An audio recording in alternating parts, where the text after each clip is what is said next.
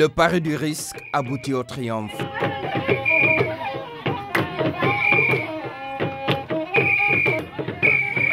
Cette cérémonie consacre la fin d'un combat, celui de l'abandon de la pratique de l'excision des femmes dans la région de Kolda.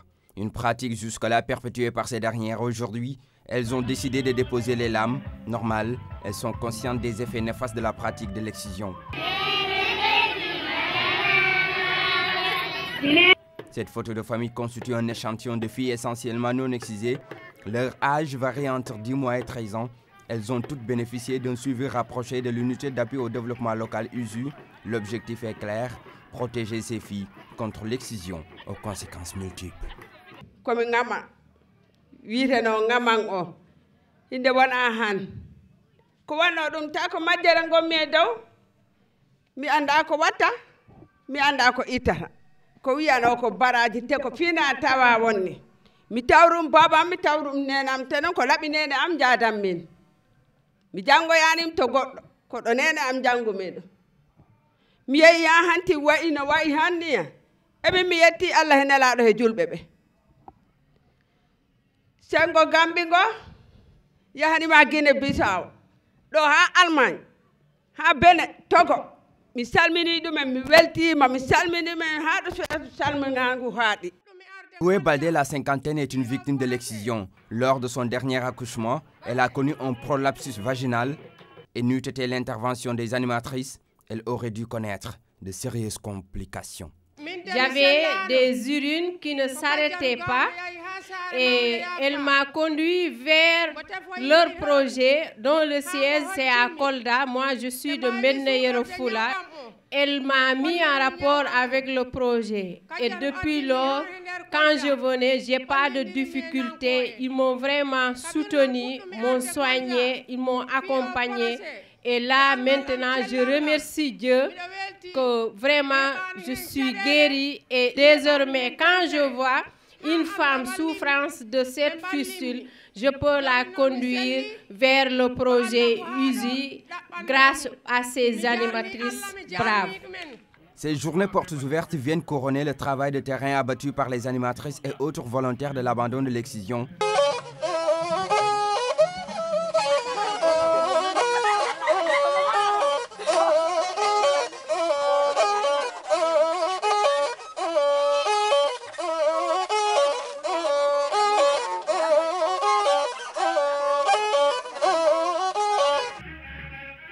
Elles en disent long sur les stratégies appliquées pour obtenir aujourd'hui à ces résultats satisfaisants.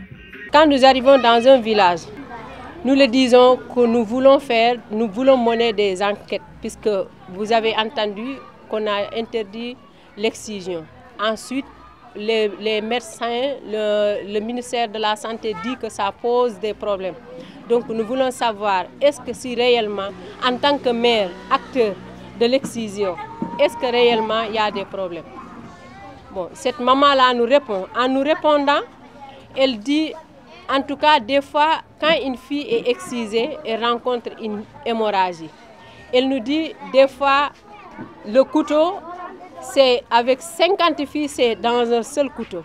Et là, on pose des questions en la disant que est-ce que si aujourd'hui, vous partez à l'hôpital, vous voyez une femme, euh, quelqu'un prendre une piqûre, est-ce que vous allez accepter de prendre cette seringue et vous aussi, on vous la pique?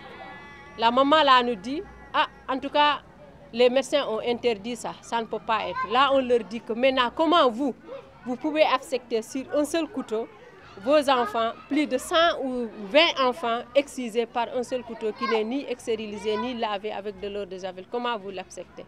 Ils nous disent c'est nos coutumes. Et en leur posant la question, est-ce qu'il y a une exciseuse dans ce village?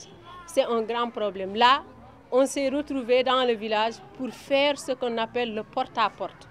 Par exemple, tisser des relations. Des fois, on va même dans les villages, dans les champs, dans les rizières pour chercher vraiment une amitié. Des fois, en partant, nous payons de petits euh, trousseaux à cadeau, du savon ou bien quelques d'oignons en, en, tissant des relations avec, euh, avec ces femmes-là. C'est ainsi qu'on peut avoir une femme que nous appelons confidente. Elle nous dit et tout ce qui se passe et elle nous parle de l'exciseuse qui vient.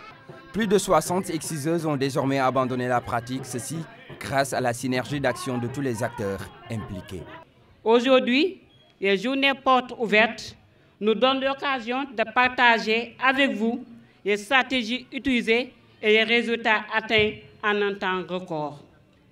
Nous pensons que l'excision est une tradition mal connue parce que les guides religieux, les érudits et notables de notre société soutiennent encore cette tradition honteuse malgré les effets néfastes sur la santé de la femme qui sont toujours confirmés par les techniciens spécialisés de la santé. D'où la nécessité de faire la lumière pour faire connaître les véritables causes de la persistance de cette tradition. Nous avons pu organiser des séminaires de conversion à ces inciseuses et nous pensons qu'à 99%, on a des inciseuses qui ont abandonné et qui nous accompagnent dans la lutte. Des inciseuses qui ont changé de statut d'inciseuses et qui sont devenues des animatrices. Ça, c'est très important et c'est ce que nous appelons la reconversion. Les leaders d'opinion, composés pour l'essentiel des guides religieux et des chefs coutumiers, ont aussi joué leur partition dans cette prise de conscience, dans une zone où la pratique de l'excision est fortement liée à des croyances religieuses, comme l'islam. Nous nous sommes concertés entre marabouts, entre oulémas, dans un commun accord, nous avons pris l'engagement de relever le défi pour rétablir la vérité et éclairer les populations pour les questions aussi sensibles que l'excision, une coutume millénaire. C'est ainsi, monsieur le gouverneur, avec l'appui technique et financier du consortium de ONG Easy et Fodé, en partenariat avec INTAC, un symposium a été organisé au Conseil régional de Kolda en avril 2011 pour examiner à la lumière du Saint-Coran et des hadiths la position de l'islam par rapport à l'excision. Après toutes les analyses unanimement, les participants se sont mis d'accord pour admettre euh, que l'excision n'a aucun rapport avec les religions musulmanes. Dans ce combat, le consortium d'ONG Usufode a bénéficié du soutien d'une ONG allemande dénommée Intact. La structure a beaucoup œuvré dans cette partie sud du pays pour faire face au phénomène. Dans la lutte de l'excision, il faut euh, aux ONG africaines des moyens financiers. Et euh, nous donnons ces moyens. Ça, on a déjà fait au Bénin, au Togo et on le fait au Sénégal.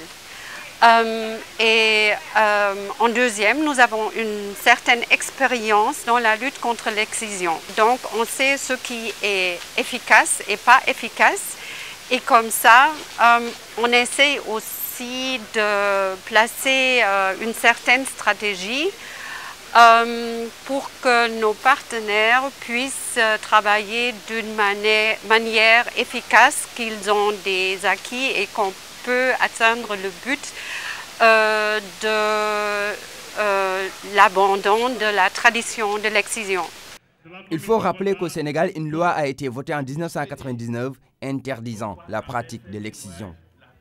L'implication et l'engagement des leaders d'opinion, guides religieux et chefs coutumiers présagent d'une pérennisation des acquis, des acquis du dit projet. Nous estimons que les résultats atteints par ce projet de lutte contre les mutilations génitales féminines et d'assistance aux fistuleuses à l'issue des trois années pourront sensiblement réduire ce fléau et aboutir à un changement de comportement de nos populations vis-à-vis -vis de la pratique de l'excision. Voici les différents objets autrefois utilisés par les exciseuses dans le cadre de leur métier. Suffisant pour dire que l'excision est étroitement liée au mystique. Aujourd'hui, non seulement ces femmes ont abandonné la pratique, mais elles participent aussi à la sensibilisation de leurs pères et de leurs parents pour éradiquer définitivement le phénomène. Après Kolda, où elle a déjà fait ses preuves, l'ONG Intact va poursuivre son combat dans d'autres régions du Sénégal où l'on pratique l'excision.